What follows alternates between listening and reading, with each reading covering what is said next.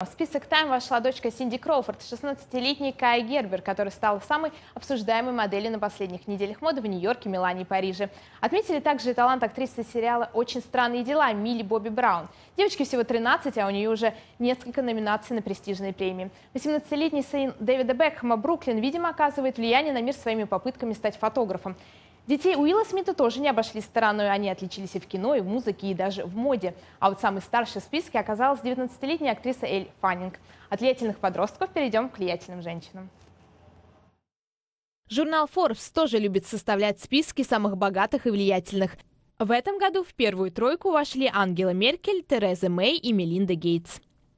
Списке самых влиятельных женщин мира также оказалась Анна Винтур, занявшая 27 место.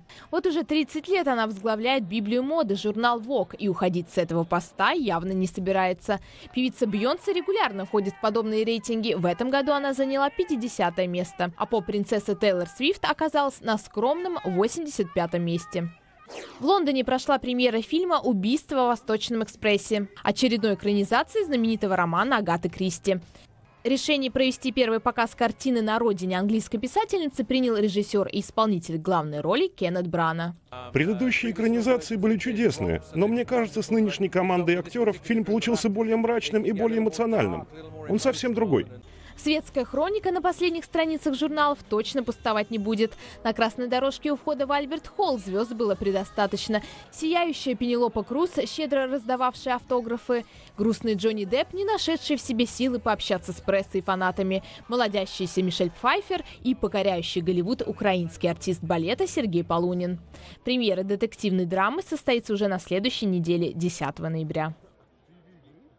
Карьера и жизнь Кевина Спейси продолжают рушиться прямо на глазах. Теперь в сексуальных домогательствах актера обвинили 8 сотрудников съемочной группы «Карточного домика». Компания Netflix уже успела заявить, что ничего не знала об этом. На этом кошмарный сон Кевина Спейси не заканчивается.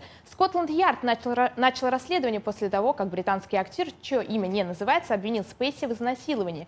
Инцидент произошел около 10 лет назад в Лондоне. Сам Спейси продолжает хранить молчание.